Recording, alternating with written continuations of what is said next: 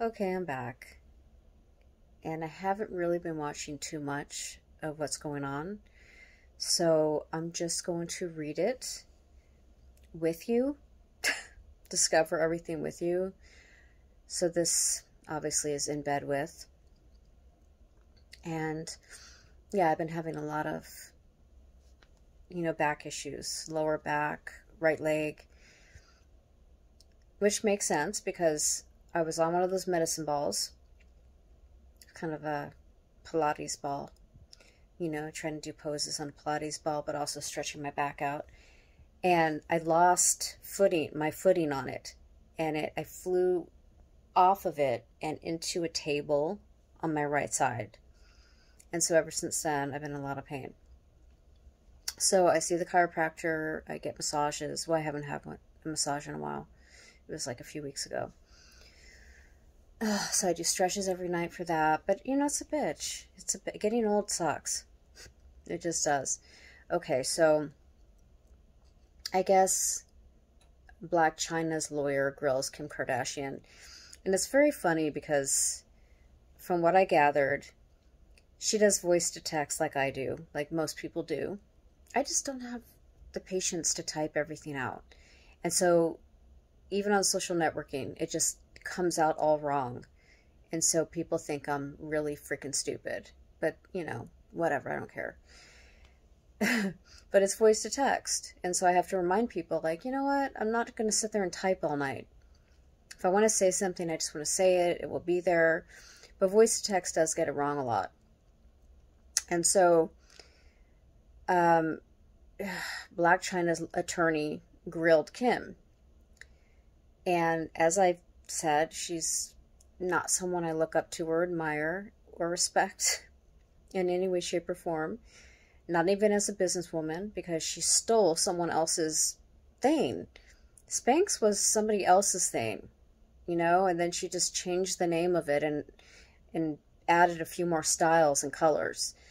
So I just don't think of her as somebody. And yeah, when if she had a makeup line or a perfume line, other people create that and they're like, oh, well, you're famous, so let's put your name on it. So I just don't have respect for her. I think she's a grifter. I think her whole family is grifters. Um, that's just my view. But the Skims founder, bitch, please. You didn't find it. It was there already. You changed the name, and then she stole this bra idea from somebody who already had it, who already had a patent on it, and then she ended up suing her. And she stole the name from one of her fans, you know, Skims. And the fan's like, hello, I thought of that name, but she won't give her any credit. So she doesn't care what she has to do. She just wants money, more money, money, money, money. And I never see her really giving back, except when she wanted to have a trip to the White House because her husband did. And so there's a picture of her in the Oval Office, and she's also, you know, proud.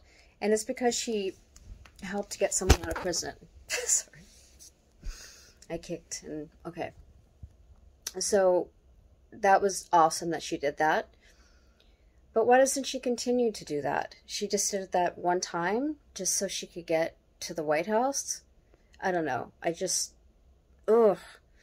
Okay, but the only thing I like about Chyna, which is like pretty much nothing except this, is that the Kardashians almost didn't continue because of her. And I think that's the reason why E either canceled them or they canceled E. I'm not sure. But they made a deal with Hulu and now they're just stuck we're stuck with them forever. Oh my god. I can't even with them. I can't even with them. Uh, I think of so many people suffering and struggling in, in the world, and then this shit, this shit's going on. So she kept saying in text messages, like, our show, we don't want you on our show. No, my show anymore. That's what she said, my show. And she says that uh, text to speech, speech to text, sorry. She meant our show. We don't want you on our show anymore. And so that was stupid, back and forth. And then she's like, well, it was Rob's show anyways. And so we didn't want her on Rob's show or whatever. It's just a mess, you know, with the knives and the gun and the strangling, you know, and I guess there's a, yeah, knife. That's what I just said. There was a knife involved where she cut him, and that was even before, I guess, she got pregnant and they had a baby. So this bitch is so fucking crazy. I don't care what anyone says. She's a gold digger. She's violent and crazy. And now she's thinking, well, I didn't get mine. And so I am going to go after them. And she's going to, she wants to try to win in court. Good luck with that. She's trying to say that she had all these opportunities that were lost because of the Kardashians canceling her. And um, they should have probably counseled Rob before he even got involved with this bitch. You know what I mean? Like, if you're famous like they are for no fucking reason, other people are going to want to be famous for no fucking reason too. So they're going to be drawn to the Kardashians.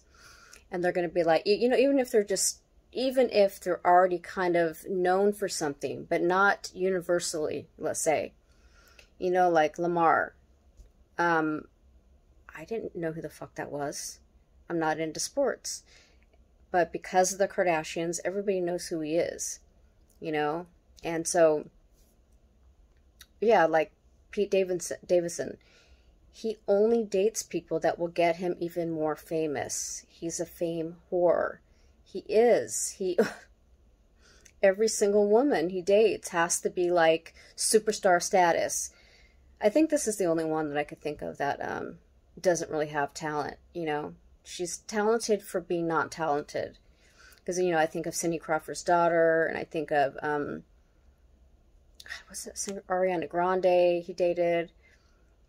The list goes on and on, and they're all, like, way too good for him, because I don't think he's that funny or attractive. He must have a really big cock, I'm thinking. That's all I can think of. So, other than that, yeah, no, nobody in that family has like real talent, like legitimate talent. But that's not what's in today. What's in today is how much money can we have and make for doing the bare minimum? Can you just photo can you just put a camera on me and let me just do whatever the fuck I do? And that's what they do. They don't do anything really. I mean, if you th think about it, what do they really do on their show? It's a show about nothing like Seinfeld was supposed to be. Okay, so the only thing I like about Blac Chyna is that she almost took down the Kardashians, you know? She almost took down that show. But I have to give Kim that I will give Kim this. Because she's a grifter and kind of a sociopath because she doesn't it doesn't seem like she has emotions. Like she doesn't feel anything. I've never seen her laugh hysterically or well actually I did see her uh her ugly cry but it was for herself. It wasn't like, what did she cry about? Oh, I can't even remember. Something, it probably was had to do with Kanye. Yeah, probably. But it, it could have been fake crying. Who knows? All I know is that she doesn't seem human to me. She doesn't look human. None of them do. None of them look human.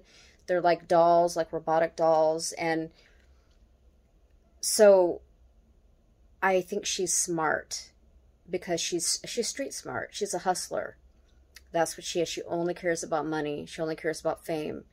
She could not handle it if the camera was not on her. And she reached on to Paris at one point and said, I'll be your assistant. I just want to be on the show. And so Paris had her on the show. And that's where, where it all started. And then she saw Paris do a sex tape. She's like, oh my God, I'm going to do a sex tape. And there you go we've been fucked ever since.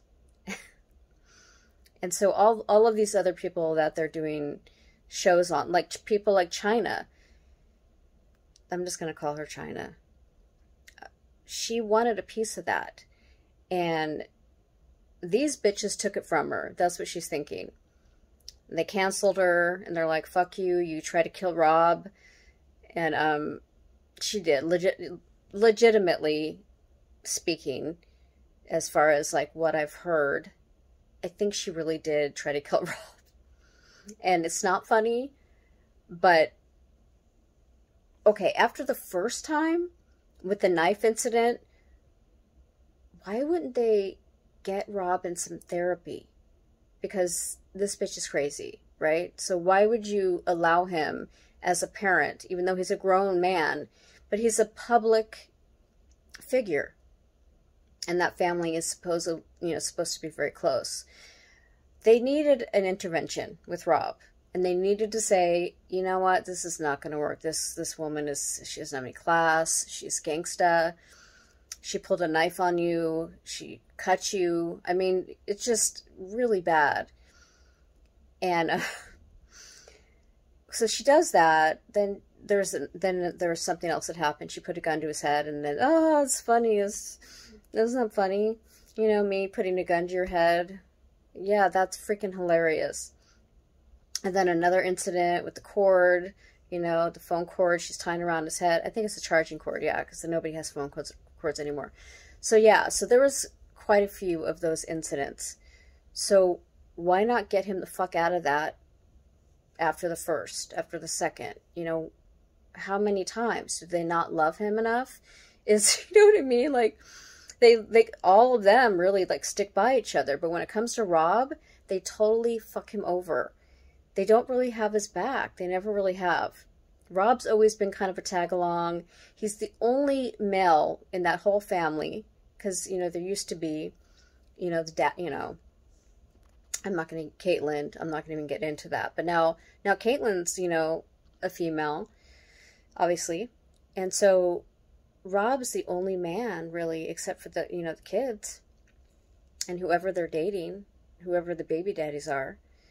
But I just feel like they should have been more protective of Rob. And the fact that they allowed him to be around someone that was trying trying to kill him is not okay.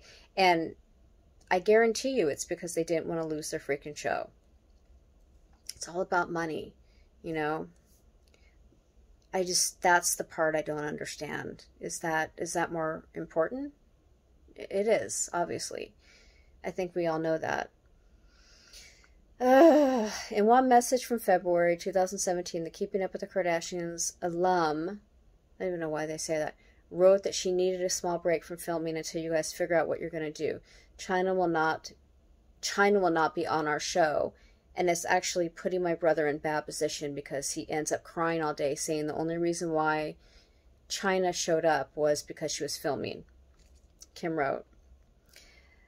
And that's sad too, because we they all know everybody knows that she only was with him for the fake fame. I mean, I don't, it's not legitimate fame. It's not like, I don't know.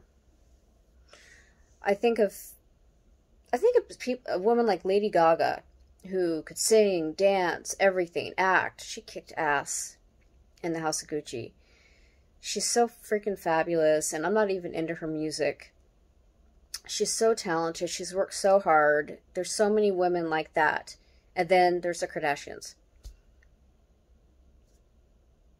I'm just sick of people like this. And so, Chyna, take your Gucci, take your Prada, whatever you got from them, and get the fuck out of it. Just move the fuck on. She's such a gold digger and she's so nasty. Uh, when asked whether the message was sent in an attempt to kill potential second season of E's Robin Chyna, I didn't even know there was a first one. Kim insisted it only referred to her wishes to temporarily step away from the cameras. I can't control the content of what they film, but this is our show. Okay? Why would we film with her? See, I can't even be mad at her. I can't be mad at her because she tried to kill her brother. She's it does, she doesn't care about that. I really don't believe any of them really give a shit. I think it's she doesn't want Chyna. She didn't want Chyna ruining their fucking their shit. You know, getting them dirty.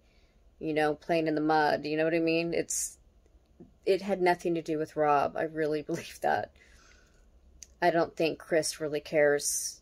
She, she pimps out all her kids, but she couldn't find a way to pimp him out. But she could if he was with Chyna and, you know, she could give them their own show because that's how powerful they are. Here, here, you have a show. So Chyna's right about that.